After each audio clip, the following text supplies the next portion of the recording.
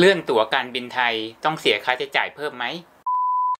สวัสดีครับ ผมออฟโกโนไกด์บังเอิญว่ามีเพื่อนๆบางคนได้ถามเข้ามา เขาเดินทางไปแล้ว ขณะนี้อยู่ที่ต่างประเทศ แต่เขาอยากจะเปลี่ยนวันกลับเนี่ย เฉพาะตั๋วของการบินไทยนะ ไม่เกี่ยวกับสายการบินอื่นนะ เขาจะเลื่อนตั๋วได้ไหม แล้วก็จะเสียค่าใช้จ่ายแพงไหม เราก็ไปดูในเว็บนะ ปรากฏว่าถ้าเกิดเดินทางมาแล้วเนี่ยไม่สามารถทำการเปลี่ยนแปลงตั๋วในเว็บได้ เราก็เลยทำการโทรไปถาม call center ผลปรากฏว่าเขาบอกว่าได้ ปลี่ยนได้ฟรีนะ แต่ไม่ใช่ทุกกรณีนะถ้างั้นเพื่อนๆไปดูเงื่อนไขกันก่อนครับ เลื่อนตั๋วการบินไทย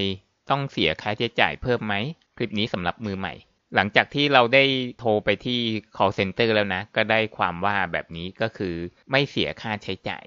ก็คือสำหรับตอนนี้นะ มกราปี 2019 ที่เราพูดคลิปอยู่นี่นะ อนาคตก็อาจจะมีการเปลี่ยนแปลงก็ได้ แต่ก็ทำให้เรารู้ได้ว่าการเลื่อนตั๋วของการบินไทยเนี่ยหมายถึงว่าเปลี่ยนวันเดินทางเปลี่ยนวันไปเปลี่ยนวันกลับเนี่ยไม่ใช่เรื่องยาก แล้วก็ถึงแม้จะเสียค่าใช้จ่ายก็ไม่สูง แต่ณวันนี้ก็คือไม่เสียค่าใช้จ่าย ในบางกรณีนะ ไม่ใช่ตลอดทุกอย่างนะ ก็เดี๋ยวจะเล่าให้ฟังนิดนึง กรณีเลื่อนก่อนวันเดินทาง ไม่เสียค่าใช้จ่ายอ่า call center บอกมาแบบนี้นะ เราไม่สามารถหาข้อมูลจากในเว็บได้เลย ต้องโทรไปถาม call center เท่านั้น ยกตัวอย่างอย่างเช่น ถ้าวันเดินทางของเราเนี่ยนะคือวันไปหรือวันกลับก็ตามเนี่ยนะก็คือ 26 กุมภาพันธ์เราโทรไปเลื่อนตอนวันที่ 25 กุมภาไม่เสียค่าเลื่อน คือยังไม่เกินวันที่บนตั๋วไง วันไปหรือวันกลับก็ตามเนี่ยนะอย่างเคสของเราเนี่ยเขาต้องการจะเปลี่ยนวันเดินทางกลับ คือ 26 กุมภาเนี่ยคือวันกลับของเขาและวันไปของเขาก็คือออพฤศจิกาปีที่แล้ว อันนี้คือเขาอยากจะเปลี่ยนวันกลับ ฉะนั้นถ้าเราโทรไปไม่เกินวันที่ 26 กุมภา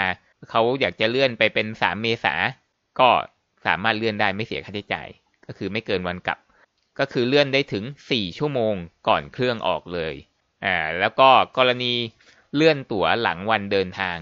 เลยวันไปแล้วเพิ่งอยากจะมาเลื่อนอะไรเงี้ย ก็เสียค่าเลื่อนตั๋ว 2,000 บาท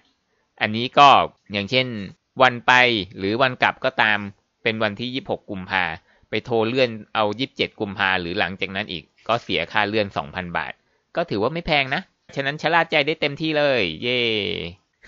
เพราะว่าซื้อตั๋วมาแพงอยู่แล้ว การบินไทยก็ถือว่าตั๋วแพงพอสมควรถ้าเทียบกับที่อื่นอยู่แล้ว แต่แต่ไม่ได้แพงโดดมากหรอกเท่าที่เราดูนะ ราคาก็โอเค แต่ถือว่าแพงกว่าที่อื่นนิดนึงวิธีที่ง่ายที่สุดสำหรับมือใหม่นะ โทรไปที่เบอร์นี้เลย call center การบินไทยเลย ง่ายสุดเลยทำอะไรไม่เป็นเลยเนี่ยเบอร์นี้เลย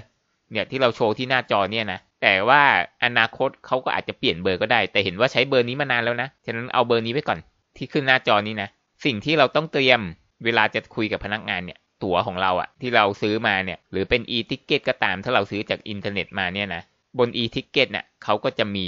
booking reference code คือ booking code แหละมักจะเป็นตัวอักษร 6 ตัวเนี่ยอย่างที่ออฟยกตัวอย่างเนี่ย A B C D E F อะไรประมาณเนี่ยตัวอักษร 6 ตัวเนี่ย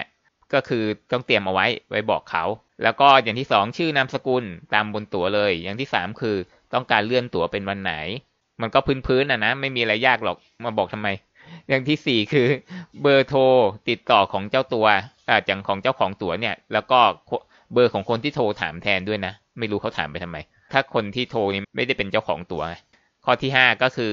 อีเมลที่เราจะใช้รับตั๋วถ้าเกิดไม่ได้เสียค่าใช้จ่ายเนี่ย ตั๋วเขาก็จะส่งมาทางอีเมลให้เรา หรือถ้าเพื่อนๆ อนาคตมีการเปลี่ยนเบอร์ก็เข้าลิงก์นี้เลยเดี๋ยวเราจะใส่ไว้ใต้วิดีโอ